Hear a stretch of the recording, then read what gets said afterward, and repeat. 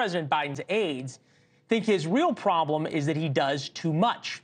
His approval rating right now is around freezing. And aside from the economy, most people who are polled think he's too old. In fact, he now has a lower approval rating than his number two. Alex Thompson at Axios reports current and former Biden aides say he often pushes to do more travel and events than they think he should. Biden pushing up against his limits sometimes creates a cycle in which he wears himself out and then appears fatigued during public events.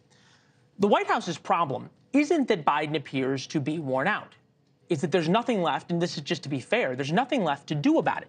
Putting nap time on the official White House schedule won't help things.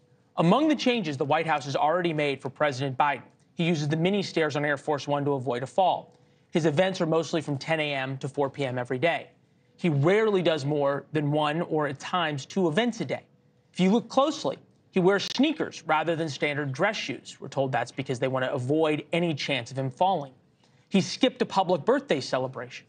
George Will, News Nation senior contributor, is with us. George, it is good to see you. We're sorry it's not in person, but uh, good to have you here uh, anyway. Is seeing less of President Biden an answer? No, because hiding him makes him, and this is a paradox, the more he's hidden, the more conspicuous the issue becomes. The fact is, Leland, that his polls are terrible and they are actually worse than they seem. Let me give you two examples. In order to win the Electoral College, a Democrat has to win the popular vote by 2 to 4 percent because the Democrats have lots of wasted votes in the sense that they carry California by 5 million votes, but that doesn't get them any more electoral votes than if they carried it by one vote. The same is true in New York and Illinois. Second, if Mr. Biden carries the African American vote by, say, 70%, people say, gee, that's a landslide. If he carries the African American vote by 70%, he loses because he is, and most Democrats recently have been accustomed to carrying the African American vote by something in the 90s.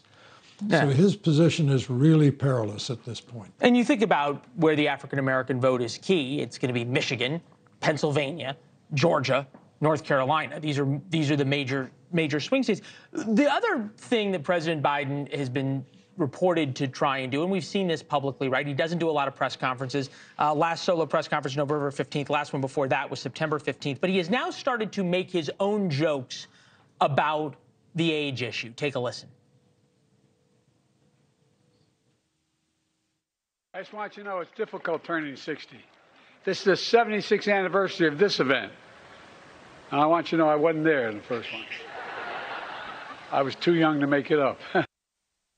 You compare those to what Ronald Reagan did uh, in the 1984 debate, his joke about his age. Take a listen. I will not make age an issue of this campaign. I am not going to exploit for political purposes my opponent's youth and inexperience.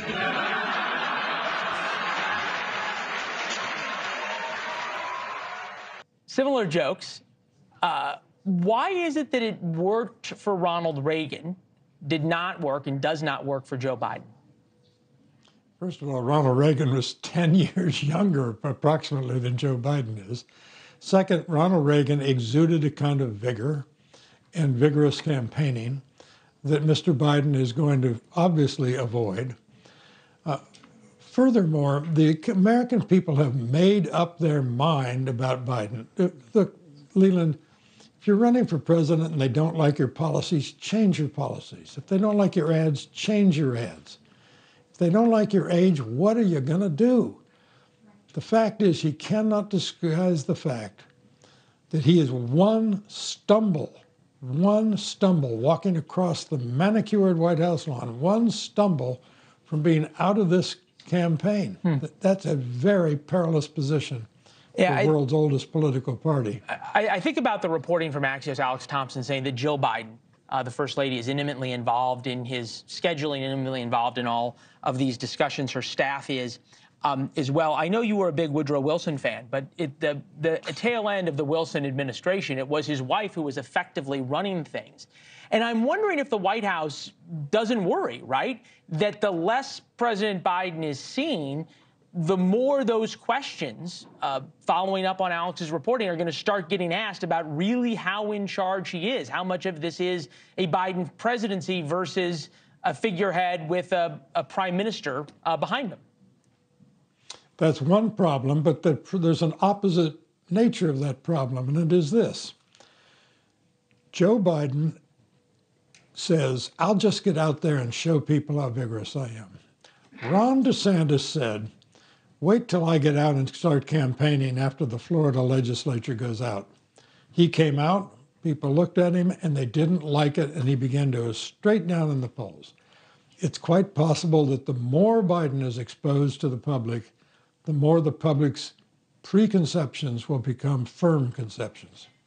As, as we said, uh, the problem isn't his age. The problem is there's not much much left to do about it. George, um, it is good to see you. Uh, we're getting all of our smartest minds, you being at the top of that list, on the following question: um, Yes or no? November of 2024, will Trump be the Republican nominee and Joe Biden be the Democratic nominee? To the latter, definitely no. I think Mr. Biden will not be nominated, and uh, I'm if I, I, I I'd bet 51-49 against Trump at this point. Thanks for watching. Go to joinnn.com to find News Nation on your television provider. And don't forget to click the red subscribe button below to get more of News Nation's fact driven, unbiased coverage.